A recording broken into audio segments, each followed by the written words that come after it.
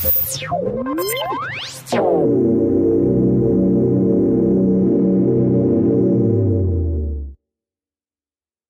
you haven't already watched the demo for try, catch, and error variable, do that first because they kind of got us to where we are here.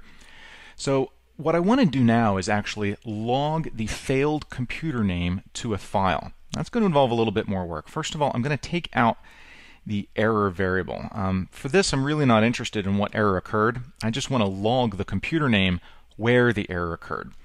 So to do that, I need to go down here to my advanced function and add another parameter. And I'm going to make this one mandatory. And it's going to be a string, and it's going to be log file. And that's just going to accept a file name or a path.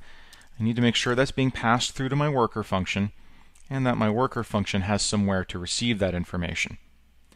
At the beginning of the script, in other words, each time my advanced function runs, I want to try and delete that log file. That way I'm not continually appending, um, and every single time I run this, I get a fresh start.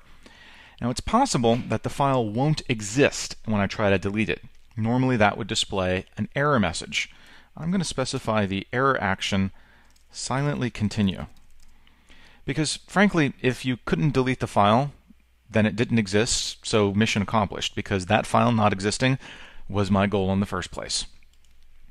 In my catch block is where I'll actually log that. So I'll take the computer name, pipe it to out file, to whatever log file name the user specified, and I'll ask it to append. If the file doesn't exist, then outfile will go ahead and create it. If it does exist, it'll just append this computer name to whatever was already in the file.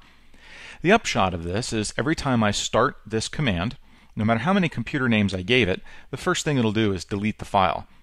Then it'll start processing the computer names one at a time, and any that fail will trigger my catch block, logging that file name to the log file.